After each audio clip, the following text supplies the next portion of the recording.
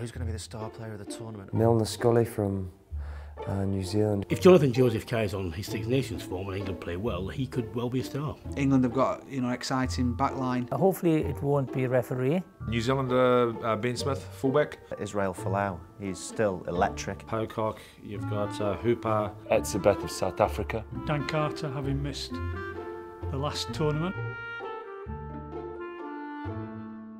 Milner Skudder from uh, New Zealand. If Jonathan Joseph carries on his Who's going to be the star player of the tournament? Milner Ben Smith, fullback. Israel Folau, he's still electric. Pocock. Exciting backline. Hopefully it won't be a referee. New Zealand... uh, Six Nations form and England play well, he could well be a star. England have got you know exciting.